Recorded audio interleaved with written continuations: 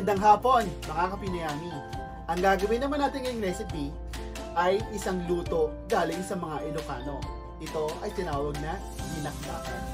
Dinakdakan with a twist. Isang masarap na pulutan, pwede rin gawing ulam. Tara na, magluto tayo.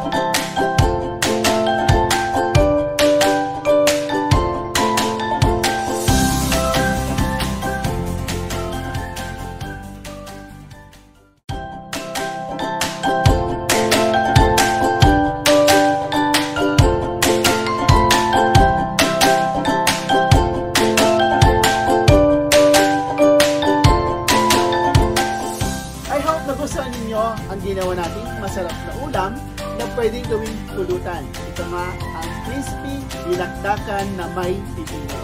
Huwag niyo pong kalilimutan mag-subscribe sa aming channel at i-click ang notification bell para lagi po kayong updated sa bagong luto ng Piniyami.